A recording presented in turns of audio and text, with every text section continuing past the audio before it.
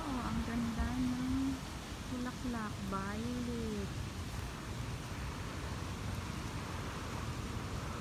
Andyan na siya?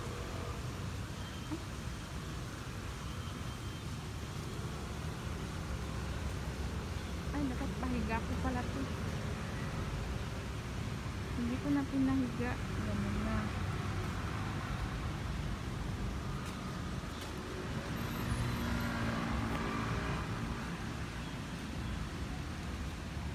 Pahigaan natin.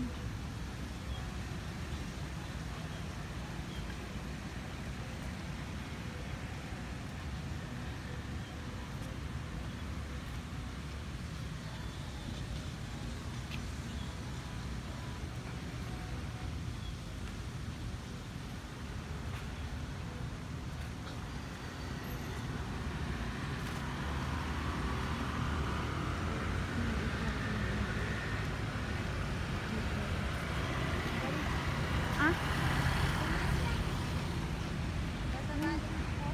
Oh, ang ganda oh. Hmm.